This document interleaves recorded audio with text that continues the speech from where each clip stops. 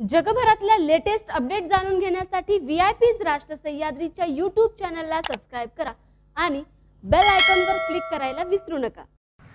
सावळी विहीर येथील दुपारच्या वेळी रस्त्यावर पडलेल्या दोन पिल्लांना तापलेल्या उन्हातून उचलून घरी आणून त्यांना दूध आणि पिठाचे बारीक गोळे खाण्यासाठी देऊन जीवनदान दिले. सावळी विहीर येथील आदित्य राजेंद्र दुनबळे आणि अक्षदा दुनबळे या बहीण भावाने हे दोन पिल्ले उन्हामध्ये पडलेल्या अवस्थेत पाहिले आणि लगेच त्यांना उचलून सावलीत आणले. आता त्यांना नवीन घरट्याची सोय देखील त्यांनी केली असून प्राणी आणि पक्ष्यांवर प्रेम करा. घरावर त्यांच्यासाठी पिण्याच्या पाण्याची सोय करा आणि त्यांना खाण्यासाठी कडधान्य टाका. यामुळे पर्यावरणाचा समतोल राहील असे आदित्य दुनबळे यांनी या प्रसंगी सांगितले. नाव आदित्य राजेंद्र दुनबळे. मी सकाळी रस्त्यावर चालताना मला हे पक्षीचे पिल्लू दिसले. आणि मग ते मी त्यांना काही विचार न करता घरी आणलं.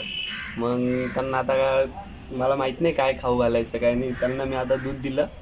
मग आता ते त्यांनी दूध बीत पिलं. आता त्यांना परत जिथं त्याची आई बी असेल ती घरटे बिरटे असेल तिथं मी त्यांना परत उद्या सोडून येईन.